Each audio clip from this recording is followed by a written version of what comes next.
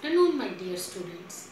Today I will discuss with you last topic of unit 2 that is choice of a suitable form of business organization.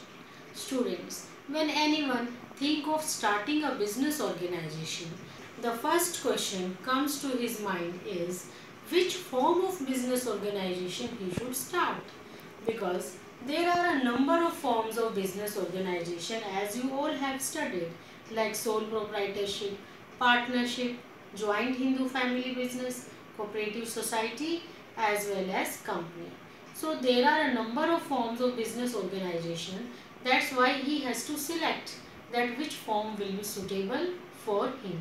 As well as there are number of merits and demerits of all these forms of business organization. And in all these forms require different amount of capital resources as well as risk associated with all these forms is of different amount. So that's why he has to take a decision which form will be suitable for him. And in taking this decision in choosing this thing that which form will be suitable he should consider some factors. So today I will discuss with you all all those factors which help in deciding, which help in choosing which form of business organization is suitable for a businessman. Let's start with the first factor. Nature of business. So first of all, a businessman should consider what is the nature of his business he is going to start. If he is going to start that very business, in which direct services are provided to the customer. There is a direct contact of businessman with the customer like he is going to start a hair cutting salon or tailoring shop or small grocery shop then sole proprietorship business is suitable and if he is going to start such type of business where professional services are required like services of CA, services of doctor or lawyers, then partnership business will be suitable. And if he is going to start a big manufacturing firm where large amount of capital is required, then company will be suitable. So in this way, on the basis of nature, form of business can be selected. Now, second factor is cost and ease in setting up organization. So while selecting the form of business organization, cost and ease in setting should be considered. Like if we are talking about sole proprietorship or partnership. So if I am talking about sole proprietorship, there is no legal formality required to start a sole proprietorship business.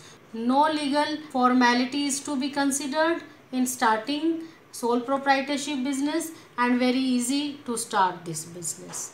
In case of partnership also it depends on the wish of the partners whether they are getting it registered or not. It means you can say there is also no legal formality. It is easy to start. If I am talking about cooperative society then very less legal formalities are required. So little amount of cost is incurred in setting up, up in setting up the business. And if I am talking about a company in case of company the procedure of the formation of the company is very lengthy time consuming and very difficult process. A lot of legal formalities are to be done by the businessman. So it is not easy to start company organization. So in this way while deciding the form of business organization all these formalities should be considered so from this point of view, sole proprietorship or partnership is better. Now, students, I will discuss with you third factor that is amount of capital. Sole proprietorship business and partnership business can be started with very less amount of capital. But if I am talking about company, then in the company large amount of capital is to be required. So, if a businessman is able to invest large amount of capital, then company form is suitable and if he is not able to invest large amount of capital, then sole proprietorship or partnership is suitable. Now, I am talking about fourth factor that is liability. In case of sole proprietorship and partnership, liability of the member is unlimited. It means their personal properties can be utilized to pay to the creditors. And if I am talking about joint Hindu family business, their liability of Karta is unlimited. And in case of cooperative society and company, liability is limited only up to the amount of shares purchased by the shareholders. So, from the point of view of liability, cooperative society or company is suitable. Next factor is continuity of business. In case of sole proprietorship and partnership business, with the death or insolvency of the member, business will go to end. So there is very less continuity in case of sole proprietorship and partnership. But if I am talking about joint Hindu family business or cooperative society or company, there is long continuity because these business organizations are not affected by the coming or going of any of the member. So from the point of view of continuity, cooperative society or company is better. Then next is degree of control. If a businessman want to control the business fully by himself and he want to take all the decision by himself, then sole proprietorship business is the best. But if a businessman is not minding whether decisions are taken by him or any other or he is not having direct control over the business and he didn't mind that he is not fully controlling the business so for such type of businessman company or partnership is better. But if you want to control the business by himself then sole proprietorship is better so students next factor is secrecy of business. So, in case of sole proprietorship, complete secrecy can be maintained. So, if a businessman want to maintain complete secrecy, then sole proprietorship is suitable. In case of partnership also, there is secrecy, but as compared to sole proprietorship, it is less reliable because there are number of partners. And if I am talking about company, there is no secrecy because large number of shareholders are connected to the company. So from the point of view of secrecy, sole proprietorship is best. Now students, next factor is freedom from government regulations. If a businessman don't want that government should interfere in his business, then he should go for sole proprietorship or partnership business.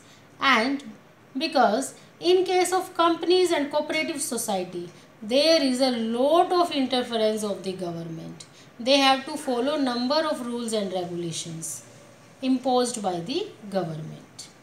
Last factor which should be considered while selecting the form of business organization is management ability in case of sole proprietorship business, business can be managed by a person having limited managerial skill. But in case of company organization, professional people having good management ability are required.